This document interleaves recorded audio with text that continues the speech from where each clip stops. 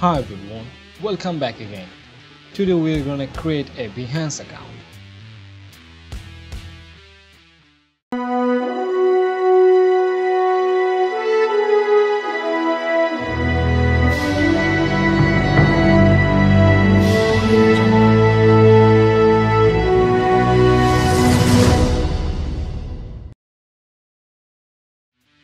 For create an account, we need to click the sign up. And then we get a form like this. You have to put your first name, last name, and the email address or password, your country and your date of birth.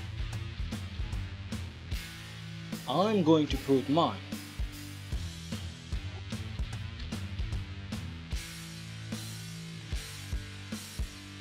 Now we have to choose the topics.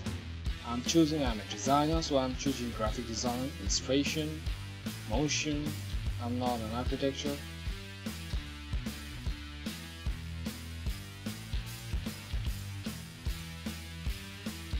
So I'm going to choose the game design, advertising,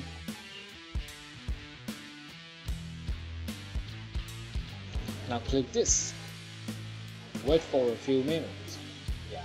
Here is your Behance account. Is complete for now we need to verify our email account. You can find the email from Behance. And then click this link. This is Behance and thank you very much. Please subscribe and hit the bell icon